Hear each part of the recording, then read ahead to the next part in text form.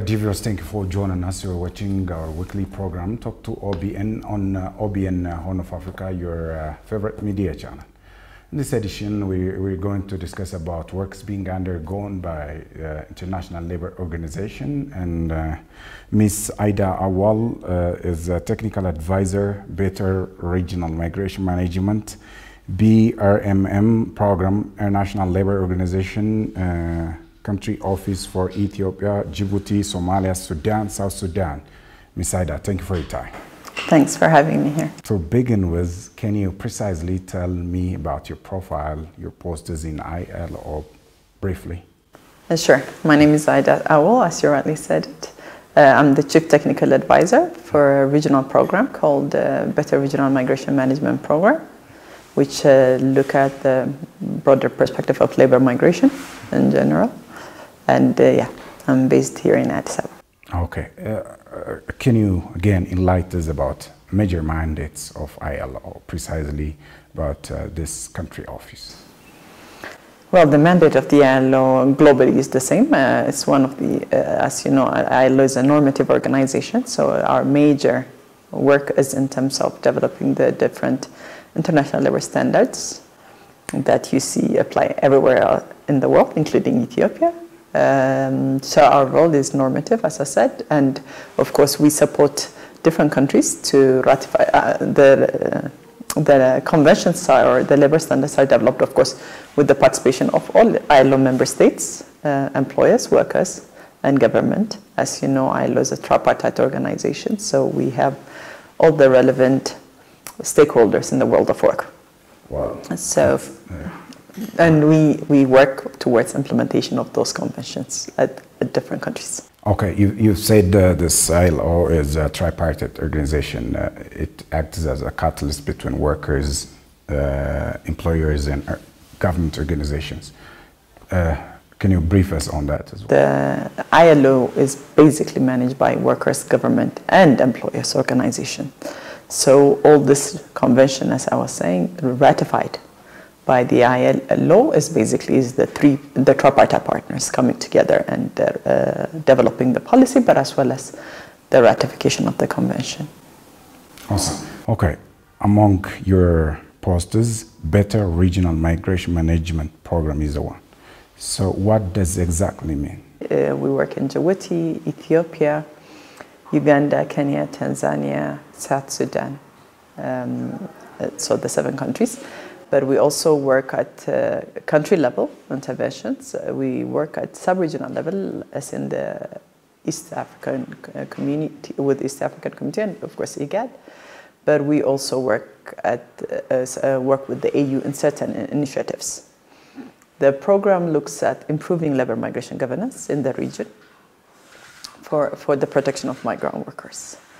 Uh, we focus in three intervention areas our first intervention area looks at more labor migration statistics in terms of to ensure evidence-based policy making so that we have the right data information in terms of statistics. The second component looks at uh, skills. So in terms of upskill, skills development, upskilling, reskilling of migrant workers and returnees and potential migrant workers as well as we look at reintegrating return migrant workers. As you know, this, there's a lot of returnees in this region as well, including in Ethiopia. We do provide support in that regard. Uh, to a lesser extent, we work on extension of social protection for migrant workers as well. Uh, and the third component looks at um, more of, as I was saying, on the ratification of convention on development of labor migration policy in designing, but as well as implementation of these policies at the different country level.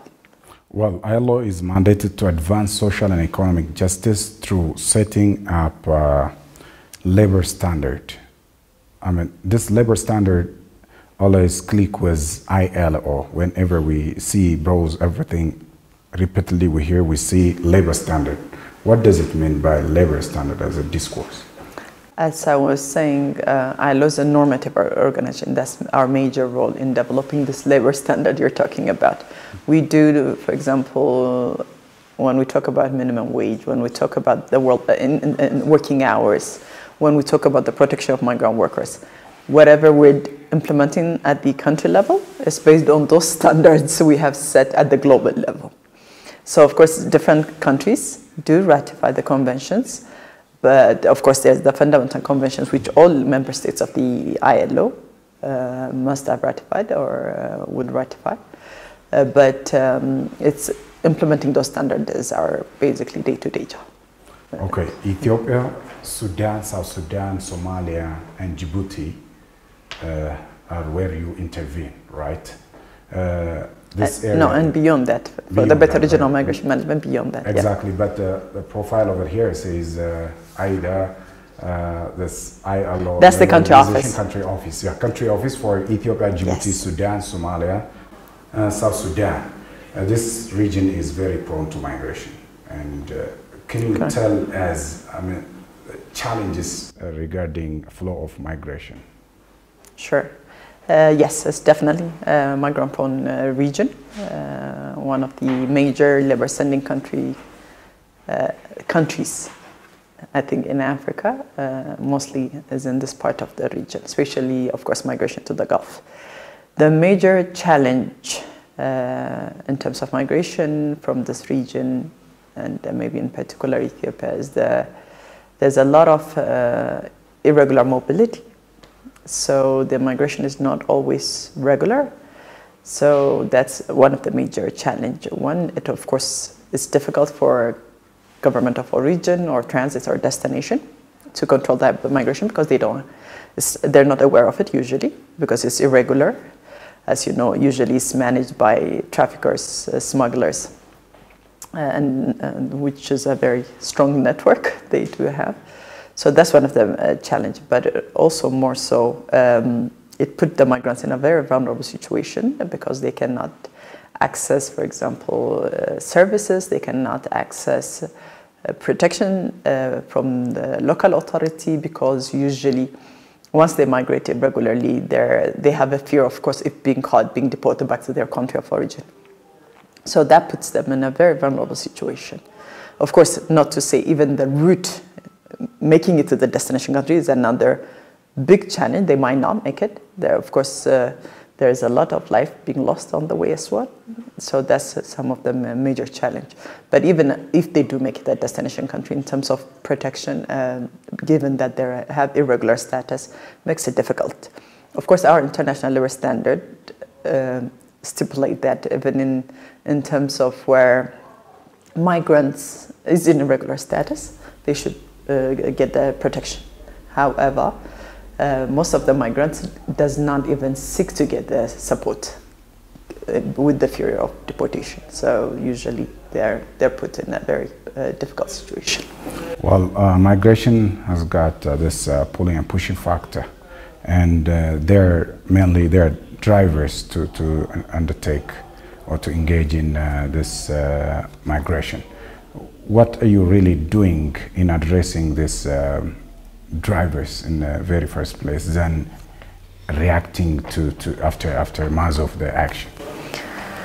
Well, uh, for the ILO, as you know, um, migration is only one component of everything else. We do work on employment, on labor issues, uh, creating decent work opportunities for, my, uh, for all workers, not only migrant workers.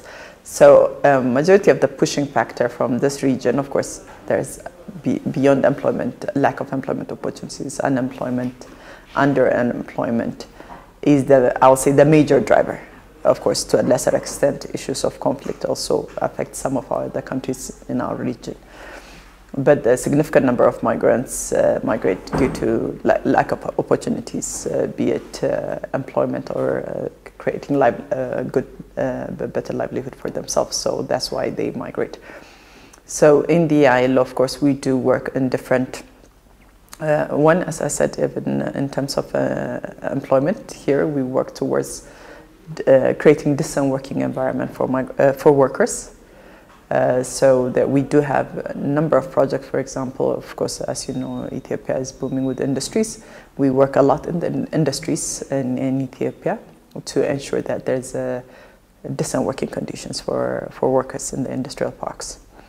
Uh, in terms of creating employment opportunities as well, of course, skills is one play critical part in terms of uh, employment, and we do have a number of projects working on skills, working uh, strengthening the capacity of the TVETs, well, of course, working at the policy level as well, having the right policy in place so that uh, um, the youth get skill, uh, the relevant skills to acquire employment opportunities in their own country of origin as well. So, uh, um, in different regards, most majority of our work is focused on employment and uh, employment creation. Um, as part of our work as well, of course, we do work on creating employment opportunities for, as I said, for potential migrants and uh, returning. So we do provide, for example, access to finance so that they can start their own business. Uh, we also skill them to the, uh, based on the relevant um, sector they want to engage in.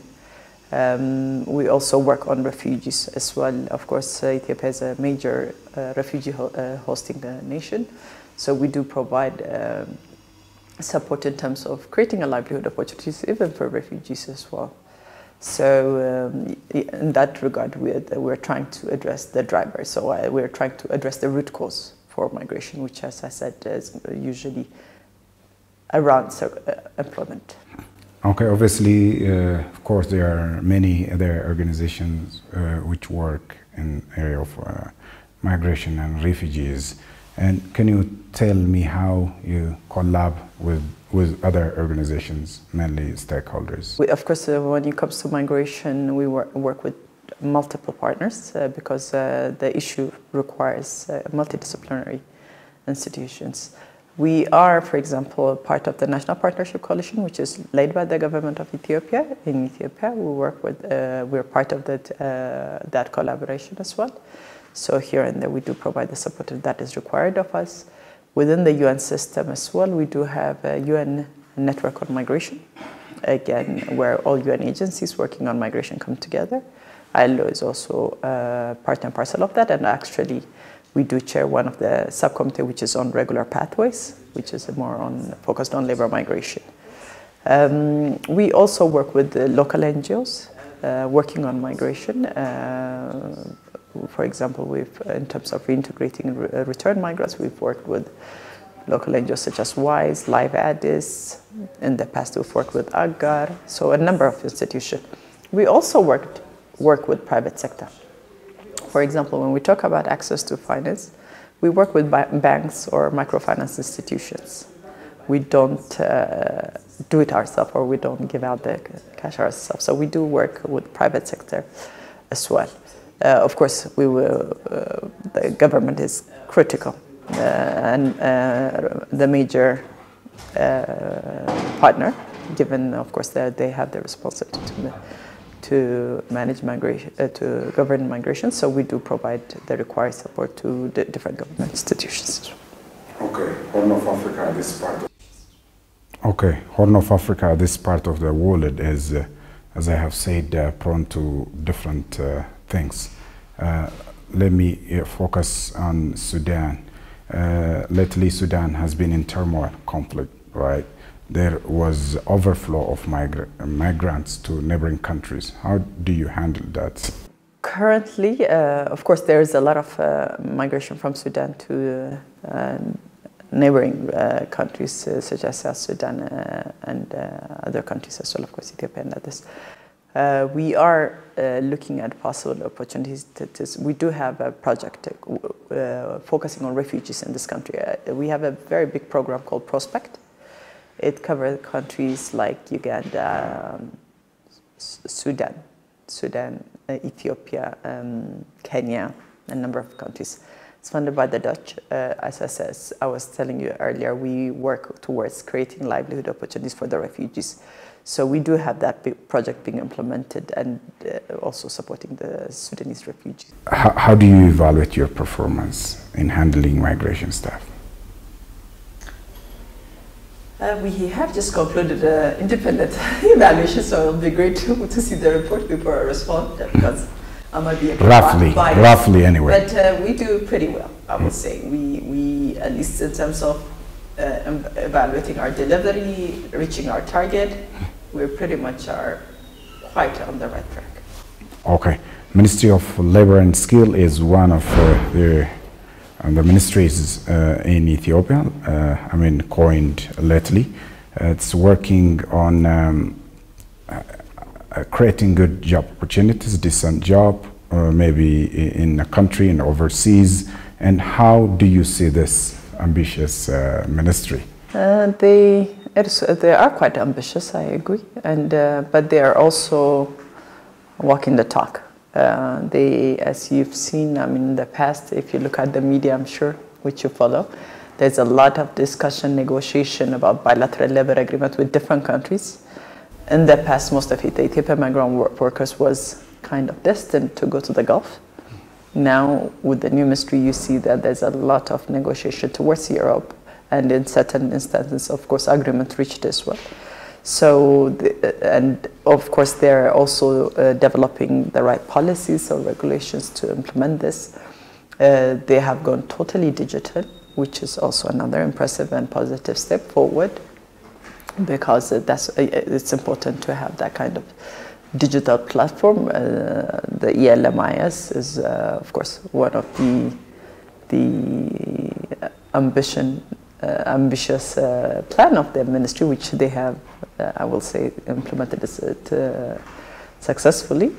Which within that ELMIS, there's also, of course, one of the subcomponents, the Ethiopian Migrant Data Management System. So they do have a very reliable and up-to-date data, at least in terms of regular migration, whether they would know which migrant where, went to which country, who's the employer, all this in the tip of your fingerprint. Uh, so this is a very positive step forward. So it is ambitious, but um, if they continue to go at the pace they have been so far, uh, I'm sure they will uh, achieve uh, the result that, that they have set to it. Let me get back to this uh, Horn of Africa again. What makes unique this part of the world uh, in terms of handling migration and uh, discharging your responsibilities? And major hurdles and challenges, bottlenecks you, you, you've witnessed so far in this part of the region? What makes it unique is, I think, the geographical location, I'll say easily accessible for migrants to migrate anywhere uh, irregularly. Uh, so uh, I, I, think it's, well, it's due to that we have significant migration out of this uh, region. But not, not so much out of this region, there's also a lot of migration within that region. As for the latest data, um, uh, East Africa is quite significant, and 80% of uh, migration happened actually within the region as well. There's a lot of migration within the region. For example, Ethiopia is migrating to Kenya or Uganda and migrating to South Sudan. So there's a lot of migration within the region, of course, but what usually attracts attention is outside the region, whether if migrants is uh, exploited in the Gulf or if uh, uh, uh is capsize on the way to to Europe uh, attracts attention, but the uh, majority of the migration is within the region. Um, I will say the hurdle, as I said, I mean the geographical location can be uh, an advantage and disadvantage as well. Uh, as I said, disadvantage in terms of because all this irregular mobility is easier to, to, to whether it's to go towards the Gulf uh, or towards, of course, Europe. of course, there's a lot of migration towards South Africa as well but it's all doable. So, and uh, there's quite a strong network of uh, traffickers and smugglers, which I, I think is, has been extremely difficult for most of these countries to, to manage uh, because you see a lot of irregular migration. Uh, our estimate, at least in Ethiopia, was uh, it might be double the figure of regular migration, so we, which is quite significant. Uh, so that puts, uh, put the region in a very challenging situation.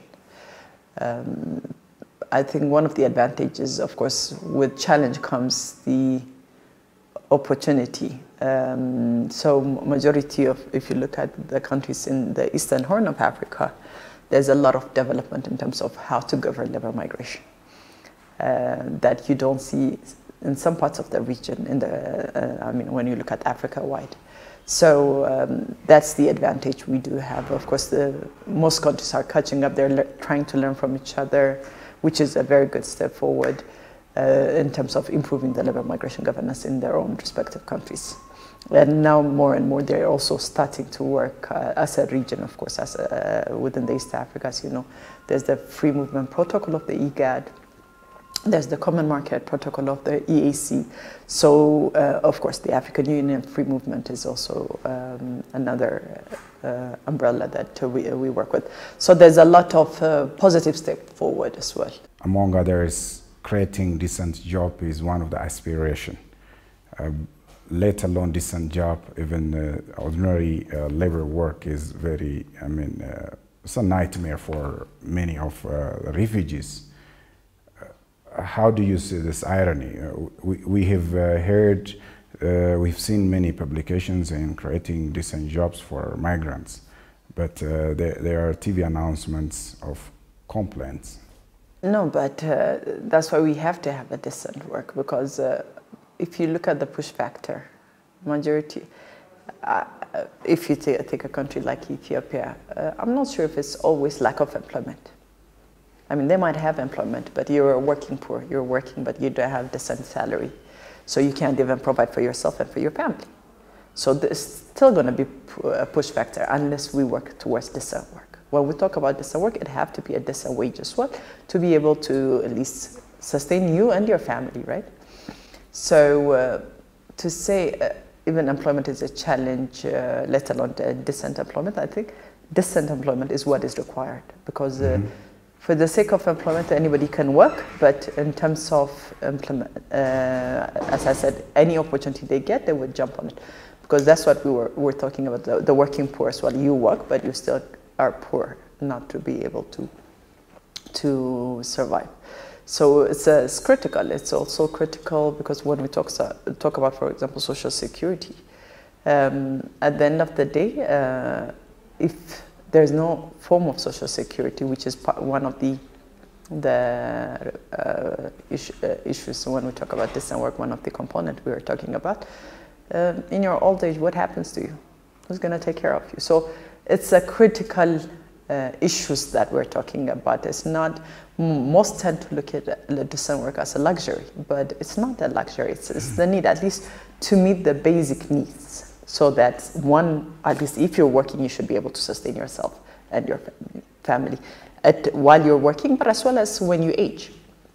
So that you're not a burden on others or you're a burden on the uh, uh, authority. So it's important to have uh, a, a, decent work uh, because if not, we'll still have employment, but people will still continue to migrate regularly and irregularly as well. Well, uh, the clock is ticking. We uh, are forced to stop here, but before leaving, any remark that you want to address uh, for partners, maybe for staffs or member countries, whoever, go ahead. Okay, uh, thanks. Thanks for the opportunity. Um, I think one thing I will say is um, uh, sometimes labor migration is seen negatively, but uh, if, if we do manage it properly or govern it properly, it's a win-win situation. It, it uh, helps the migrant workers, their families, but as well as the country of origin and country of destination. So all actors should collaborate uh, to improve labor migration governance in our region and so that we can see the fruit of mi migration. Ms. Aida Awel, Chief Technical Advisor, Better Regional Migration Management Program, International Labor Organization, ILO Country Office for Ethiopia, Djibouti, Somalia, Sudan, and South Sudan. Thank you for your time. Thank you. Dear viewers, this brings to the end of our edition for today. See you next time with another edition. Bye bye. Take care. Have a good one.